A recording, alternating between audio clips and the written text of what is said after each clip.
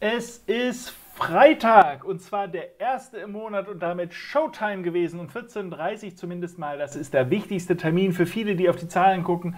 Die Wirtschaftskennzahlen, in dem Fall die US-Arbeitsmarktdaten, ganz konkret gesprochen.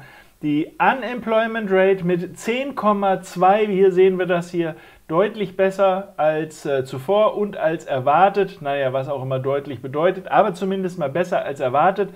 Wir hatten 11,1 zuvor vermeldet, 10,5 erwartet und 10,2 sind es dann geworden. Klingt erstmal super, beste Voraussetzung könnte man meinen.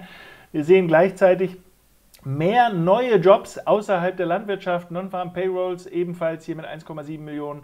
Äh, auf jeden Fall ein gutes Stück besser, auch als erwartet, allerdings schlechter als zuvor, aber äh, zumindest mal äh, die Erwartungen getoppt. Aber es gibt noch zwei andere Zahlen, die für die Wirtschaft auch gar nicht so wenig relevant sind, nämlich die Stundenlöhne, die durchschnittlichen, die sind äh, auch gestiegen.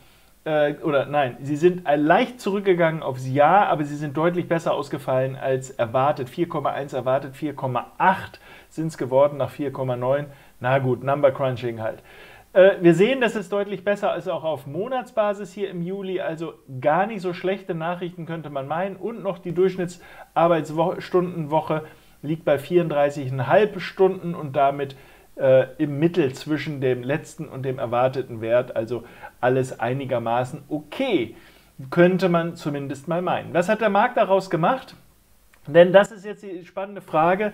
Wir müssen ja unter Umständen um die Ecke denken oder übers Eck denken, sind gute Nachrichten schlechte Nachrichten oder umgekehrt, denn wir wissen, dass die Notenbanken ja eigentlich mit ihren Bazookas im Hintergrund sitzen und eigentlich nur darauf warten, losfeuern zu können und gegebenenfalls Feuer einzustellen, wenn sich die Situation enorm entspannt. Also eine echte Entspannung sind diese Zahlen jetzt wahrscheinlich noch nicht, aber sie nehmen zumindest mal Druck weg, weil sie nicht negativer ausgefallen sind als erwartet. Insofern eigentlich könnte man mal landläufig sagen, alles in Ordnung. Tatsächlich der DAX gar nicht so doof, deshalb unterwegs. Wir hatten ja hier schon gesagt, aktuell hier die Aufwärtsbewegung in irgendeiner Form, ich mache das jetzt mir sehr vereinfacht, hier hinten ist das ein bisschen äh, tricky mit dem, mit dem Päuschen, was der Markt da gemacht hat. Allerdings jetzt hier so eine ABC-Bewegung. Da wären wir jetzt schon gerade eben hier drüber getriggert. Das ist natürlich immer fraglich, ob man sich zu solchen Uhrzeiten triggern lassen will. Ich persönlich handle zu den Daten normalerweise nicht, sondern immer erst im Nachgang. Denn wie häufig haben wir das? Dann gibt es einen Spike in die eine Richtung, einen Spike in die andere. Was war das mit den Spikes? Na, Bewegungen, die mal ganz kurz hier ausbrechen. Wir sehen das hier mal einen, einen kurzen Ausflug nach oben. Wir können mal gucken, wie das im ganz kurzfristigen Chart hier aussieht. Also da ist es schon ein paar Minuten jetzt gewesen, aber das Ganze, wenn man das hier zusammenfasst im 5-Minuten-Chart, das ist mal hoch, hoch, ah nee, doch wieder runter. Ja, da spricht man häufig von Spike, ähm, auch wenn das jetzt hier sogar ein paar Minuten noch gedauert hat. Trotz alledem kann man schon so halbwegs erkennen, dass der DAX zumindest mal hier wieder die eigentliche Aufwärtsrichtung relativ scharf hat. Also hm, mal gucken, aber wir wissen, der DAX und gerade jetzt vom Wochenende, der hat noch zweieinhalb Stunden Betriebstemperatur, danach kühlt der dann runter. Deshalb ist es dann relevant, was äh, die Amerikaner machen. Und dort haben wir ebenfalls so diese Situation, das schnellen, die schnelle Bewegung hier nach oben, allerdings auch das schnelle wieder zurückkehren. Also richtig nachhaltig war das hier eigentlich noch nicht. Und im Gegenteil, möglicherweise ergibt sich genau da die nächste Trading-Situation raus, schon wieder Nasdaq. Möglicherweise werden wir das gleich bringen, nochmal im Trade des Tages.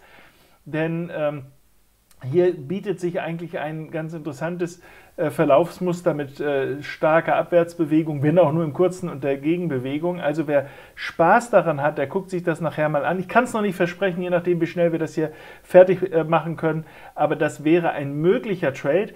Aber selbst wenn der jetzt heute doch ein anderer wird, ich kann es unbedingt empfehlen, Trade des Tages sich mal anzugucken. Wir haben viele, viele Ideen, zum Beispiel diese Aufwärtsbewegung jetzt hier beim Nasdaq gestern.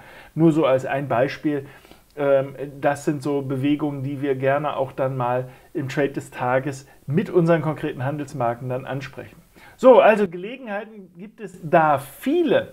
Deshalb äh, durchaus mal ein bisschen rumgucken. Letzter Blick vielleicht nochmal auf Gold, denn da haben wir vielleicht das umgekehrte Bild. Ein bisschen ähnlich wie unser Trade des Tages von gestern. Äh, nämlich, dass wir hier eine, äh, auch eine Trendbewegung hier haben und jetzt hier so eine Gegenbewegung hier. Ich habe sie jetzt nicht so schön sauber gezeichnet, aber das kriegt ihr hin. So, und dementsprechend dann eine nicht unrealistische Chance hier dass der Kurs dann, wenn er das Ganze nach oben triggert, da nochmal was draus macht. Ebenfalls also eine spannende Geschichte.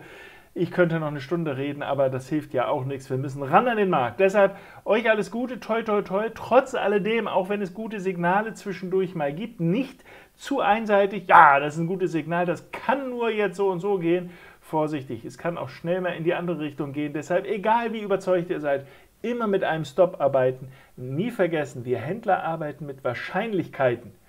Die können wir uns zunutze machen, aber selbst eine sehr hohe Wahrscheinlichkeit schützt nicht davor, dass das andere Ereignis eintritt. Für eins gibt es allerdings eine sehr hohe Wahrscheinlichkeit, nämlich dass das Wochenende vor der Tür steht.